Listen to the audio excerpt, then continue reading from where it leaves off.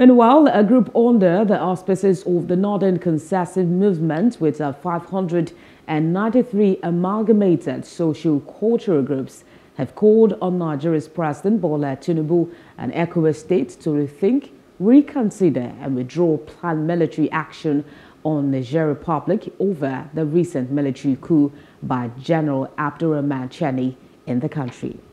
The ECOWAS leadership, led by Tinubu, is trying to get the military junta then to restore the democratically elected government in Niger.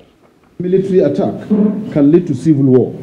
States with land border with Niger, uh, Niger Republic that will be on the firing line are Sokoto, Kano, Katsina, Kebbi, Jigawa, Yobe, and Borno states. The Northern Consensus Movement is worried about the president's request from the Senate seeking implementation of a seven-point resolution against Niger Republic, some of which involves military action, cutting off electricity, uh, electricity supply to Niger Republic, etc.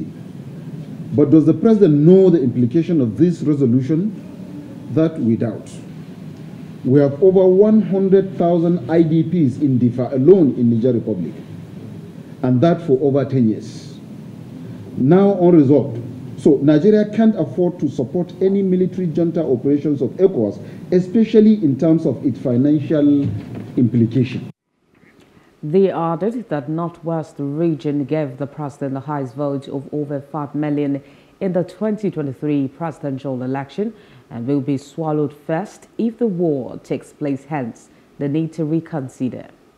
We are calling on the president as chairman of the Economic Community of West African States to reconsider his position, reconsider his stand, and also for the ECOWAS itself to reconsider her position of waging a war against Niger because we in the northern Nigeria, most especially the border state with Niger will be the ones to suffer.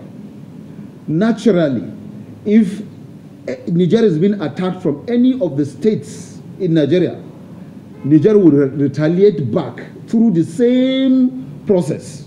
And that is to say, a lot of our people will be dying. Already we are suffering from insecurity. There is hunger in the north. There is poverty in the north. Our children are not going to school. Our farmers cannot go to farm. And even common businesses, you can't even go to market because, because of the insecurity. Now, waging that war will, will make the situation worse. The movement believes that diplomacy is superior to threats and the use of force, which may be difficult to implement, adding that uh, preventing coups is not done by sanctions and threats, but by addressing leadership deficits and corruption, curtailing negative external pressure, and building credible institutions to meet the need of the people. Hello, hope you enjoyed the news. Please do subscribe to our YouTube channel and don't forget to hit the notification button so you get notified about fresh news updates.